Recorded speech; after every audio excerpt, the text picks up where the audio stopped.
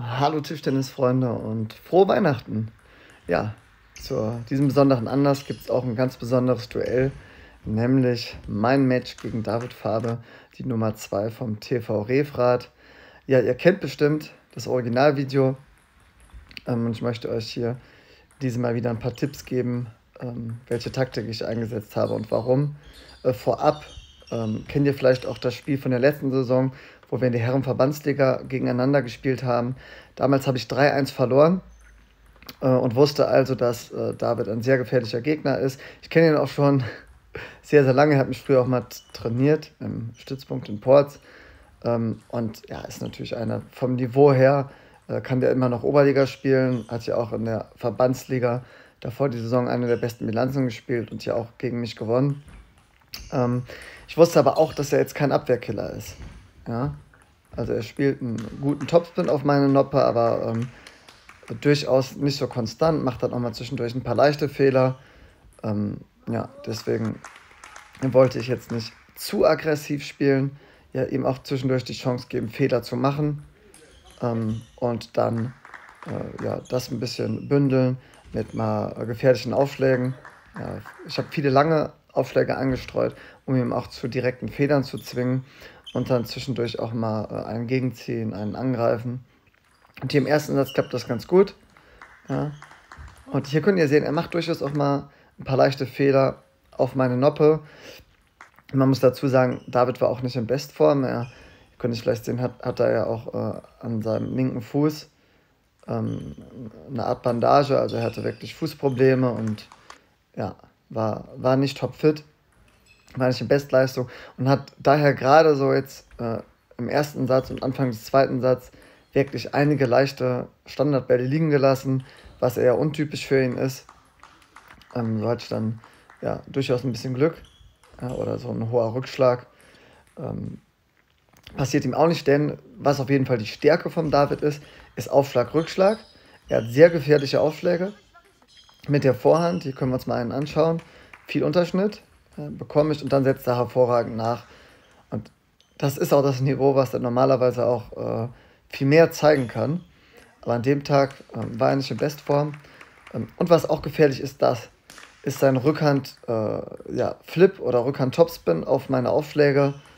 Ähm, die sind wirklich schwierig zu bekommen, oder dieser Ball ist wirklich schwierig zu bekommen.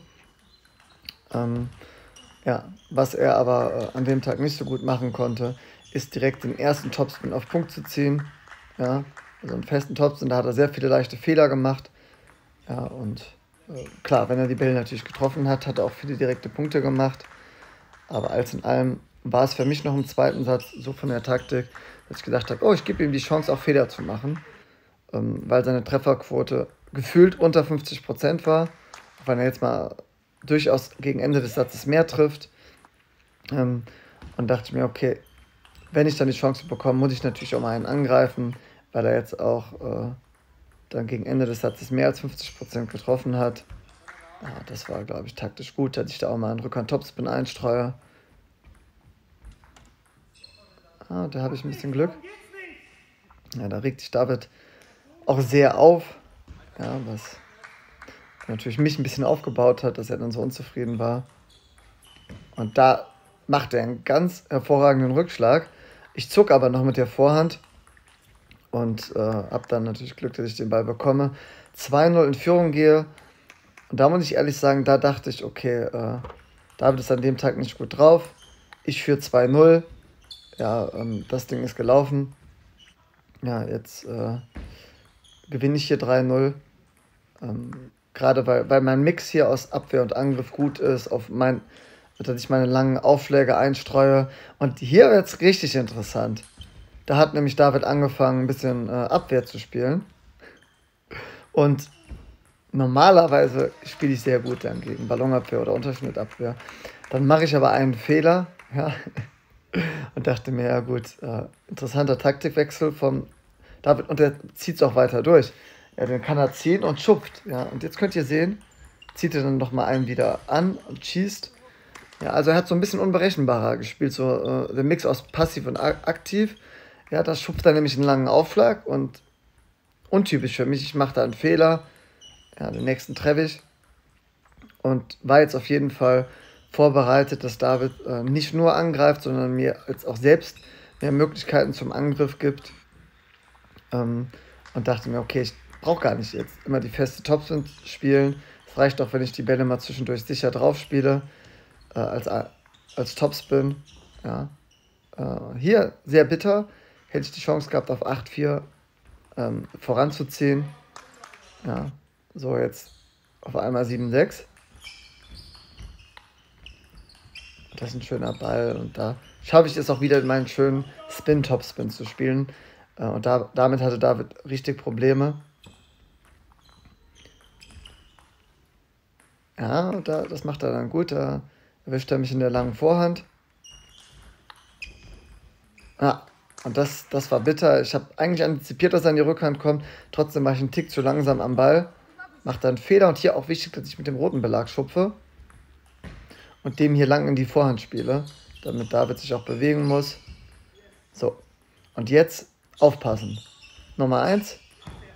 Ja, zwei Matchbälle für mich. Nummer 1 abgewehrt und wie dreist ist das denn oder wie äh, raffiniert? Ja, äh, da, da macht David zweimal hintereinander diesen langen Aufschlag und dann trifft er mal ein volles Risiko oder nichts Rückhandball.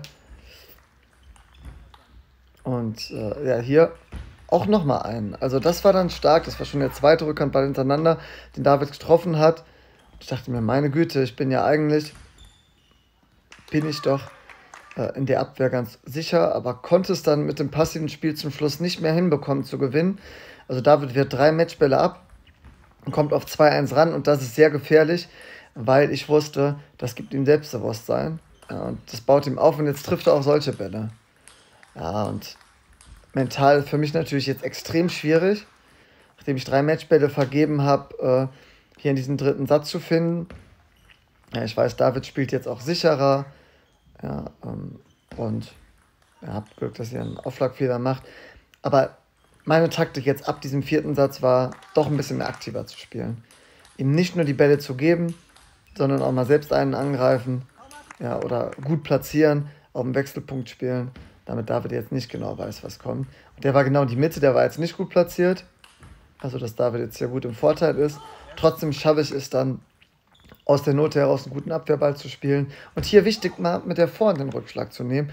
Nicht nur mit der Noppe, weil ich gemerkt habe, David, ja, auf diese Bälle hat er sich grundsätzlich eingestellt. Lässt zwar jetzt noch ein paar liegen, nimmt dann das Timeout. Ja. Ähm, und ähm, er ist durchaus im, im zweiten Ball noch nicht ganz so sicher. Den hat er stark bekommen, war taktisch gut von mir, ihm über die lange Vorhand zu spielen. Ja, und das macht er super. Volles Risiko. Ähm, ich bin da aber hinten ein bisschen am Zucken und kriege die Bälle gut.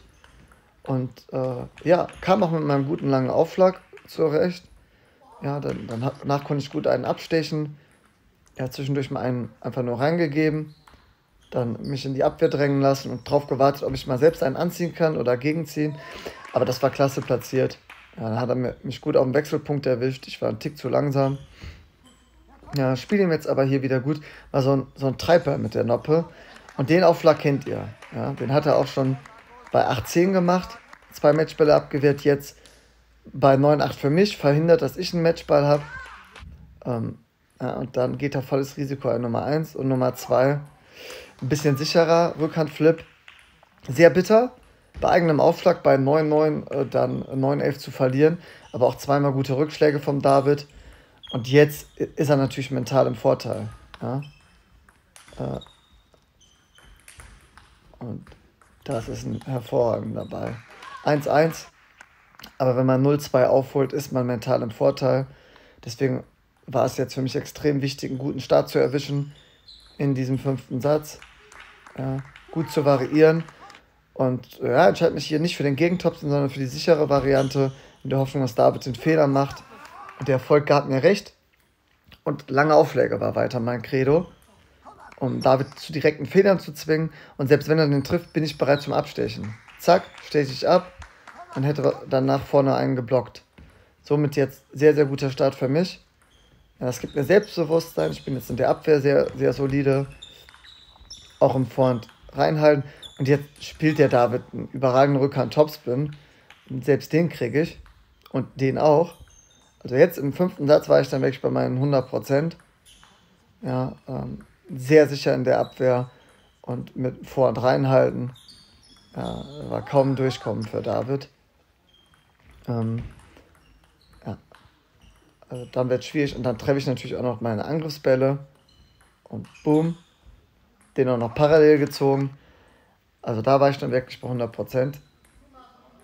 Ähm, und äh, das war auch nötig, sonst, sonst verliere ich dir das Spiel. Ähm, ja, ich hoffe, ihr konntet ein bisschen was lernen. Das, äh, das Spiel ist jetzt gleich vorbei.